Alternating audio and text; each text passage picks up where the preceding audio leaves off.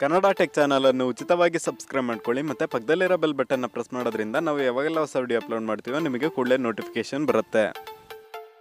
ಈ ವಿಡಿಯೋದಲ್ಲಿ ಏನು ನೋಡ್ತೀವಿ ಅಂದರೆ ಹೇಗೆ ನಮ್ಮ ಫೋನ್ ಸ್ಕ್ರೀನ್ನ ಎಡ್ಜಸ್ಟ್ಗಳನ್ನು ಕರ್ವಿಯಾಗಿ ಮಾಡೋದು ಅಂತ ನೋಡೋಣ. ಮೊದಲು ನೀವು ಪ್ಲೇಸ್ಟೋರ್ ಓಪನ್ ಮಾಡ್ಕೊಂಡು ಅದರಲ್ಲಿ ಕಾರ್ನರ್ ಫ್ಲೈ ಅಂತ ಟೈಪ್ ಮಾಡಿ ಸರ್ಚ್ ಕೊಡಿ. ಅದರಲ್ಲಿ ಫಸ್ಟ್ ಬರೋ ಅಪ್ಲಿಕೇಶನ್ನ ಇನ್ಸ್ಟಾಲ್ ಮಾಡ್ಕೊಳ್ಳಿ. ಸೊ ನಾನು ಆಲ್ರೆಡಿ ಇನ್ಸ್ಟಾಲ್ ಮಾಡ್ಕೊಂಡಿದ್ದೀನಿ. ನೀವು ನೋಡಲಿಕ್ಕೋಸ್ಕರ ನಾನು ಮತ್ತೊಮ್ಮೆ ತೋರಿಸ್ತಾ ಇದ್ದೀನಿ.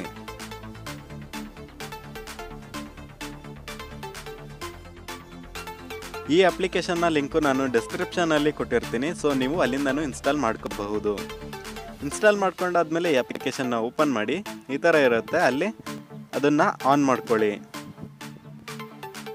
ಇಲ್ಲಿ ನೀವು ಆನ್ ಮಾಡಿದ್ಮೇಲೆ ಅದು ಡೈರೆಕ್ಟಾಗಿ ಆಕ್ಸೆಸಿಬಿಲಿಟಿ ಸೆಟ್ಟಿಂಗ್ಸಿಗೆ ಕರ್ಕೊಂಡು ಹೋಗುತ್ತೆ. ನೀವು ಅದರಲ್ಲಿ ಬಂದ್ಬಿಟ್ಟು ಕಾರ್ನರ್ ಪ್ಲೇನ್ನ ಸೆಲೆಕ್ಟ್ ಮಾಡ್ಕೊಂಡು ಅದನ್ನು ಆನ್ ಮಾಡ್ಕೋಬೇಕಾಗತ್ತೆ. ಸೊ ಇಲ್ಲಿ ಆನ್ ಮಾಡ್ಕೊಂಡಾದ್ಮೇಲೆ ನಿಮ್ಮ ಫೋನ್ ಸ್ಕ್ರೀನ್ನ ಅಡ್ಜಸ್ಟ್ ಬಂದ್ಬಿಟ್ಟು ಸ್ವಲ್ಪ ಕರ್ವ್ ಆಗುತ್ತೆ.